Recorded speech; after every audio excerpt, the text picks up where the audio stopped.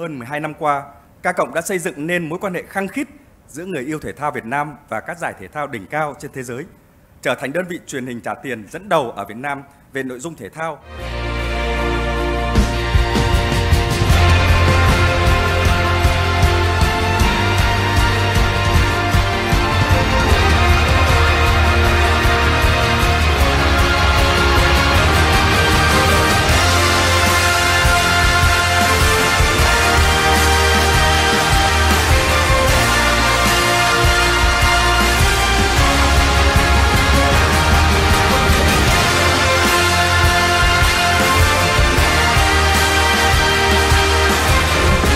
Three, two, one.